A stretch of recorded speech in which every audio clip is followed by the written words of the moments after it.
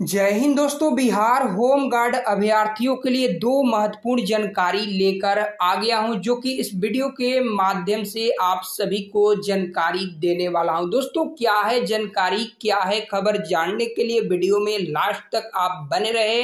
अगर चैनल पर आप नए हैं तो चैनल को सब्सक्राइब करके दोस्तों के पास भी शेयर कर दे, क्योंकि यहाँ पर जो भी जानकारी आपको मिलने वाली है, सही जानकारी मिलने वाली है। तो चलिए, बिना देर किए हुए वीडियो स्टार्ट करते हैं और सभी जानकारी को बारीकी से समझते हैं। दोस्तों, देखिए, आज ही का यह खबर है जो कि प्रभात खबर में यहाँ पर यह न्यूज़ आया है। दोस्तों, सरकार चाहती है जो भी होम गार्ड जवान है, उन्हें चुस्त दुरुस्त किया जाए और बिहार पुलिस तरह बनाया जाए। दोस्तों, यहाँ पर देखिए, अब आपको ड्यूटी के दौरान एक के सैंतालीस एस और इंसास जैसे बड़े बड़े हथियार से होमगार्ड जवान यहाँ पर लैस होने वाले हैं। क्योंकि दोस्तों होम गार्ड के जो जवान हैं, अब ड्यूटी भी आपको बड़े बड़े आपको जगहों पर मिलने वाला है। इसके कारण आपको ट्रेनिंग भी यहाँ पर बहुत तगड़ा दिया जा रहा है। आपको सब कुछ समझाने वाला हूँ कहाँ कहाँ आपको ड्यूटी मिलने वाला है। तो आप वीडियो में लास्ट तक बने रहे। दोस्तों, यहाँ पर देख सकते हैं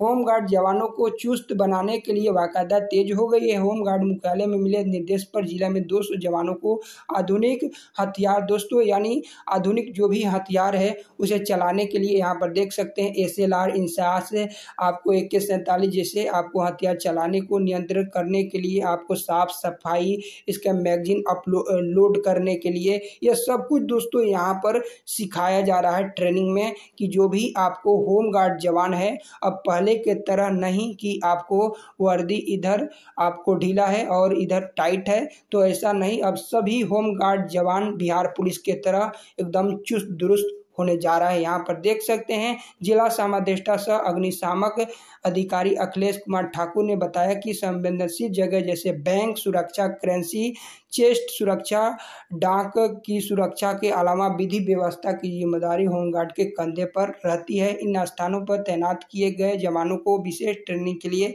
भेजा गया है।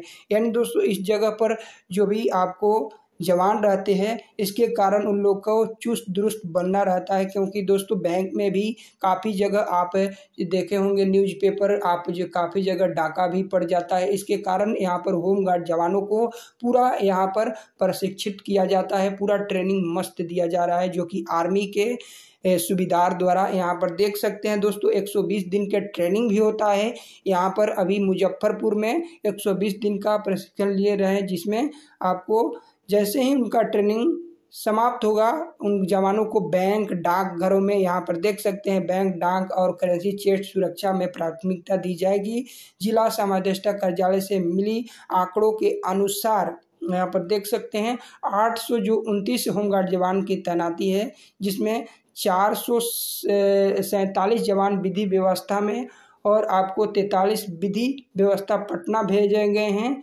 यानी दोस्तों जैसे कि आपको कोर्ट हो गया, उसमें भी होम गार्ड जवानों की अब तैनाती होती है, जिसके कारण यहाँ पर उनको विशेष ट्रेनिंग दिया जाता है। पटना व्यवस्था में भेजा गया सैंतालीस जवानों को मंडल कारा, यानी जो आपको मंडल कारा होता है ज़िले में, उनका, उसमें यहाँ पर सैंतालीस जवानों को है, सहरसा भेजा गया है, छब्बीस जवानों को बैंक में, दस जवानों को ड्यूटी डाकघर में और बासठ जवानों को उत्पाद विभाग, दस जवानों को विद्युत विभाग पच्चीस जवानों को मैगजीन एवं संगठन की ड्यूटी में तैनात है। ज़िले में कुल होमगार्ड जवानों की संख्या ग्यारह सौ तेरह है, जिसमें दो सौ जवानों की ट्रेनिंग मुजफ्फरपुर एवं एक सौ तेरह जवानों की ट्रेनिंग सहरसा के बरियाही स्थित कैंप में चल रहा है। गृह वाहिनी, नौ युवक, महिला और पुरुष दोनों को होमगार्ड जवानों को आर्मी के तर्ज पर आपको यहाँ पर प्रशिक्षित किया जा रहा है। दोस्तों, आर्मी के यहाँ सुविधार भी सभी जगह ट्रेनिंग दे रहे हैं।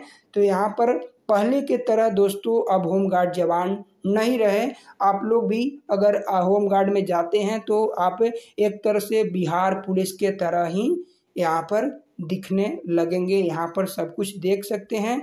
दिया जा रहा है, चार महीने के कड़ी परिश्रम के जवान खुद को फिट कर नए हथियार जानकारी के बाद लौटेंगे। फिर उनके पोशाक और ड्यूटी के अंदाज में फ़र्क दिखने मिलेगा। दोस्तों, यहाँ पर दिया गया है सब कुछ।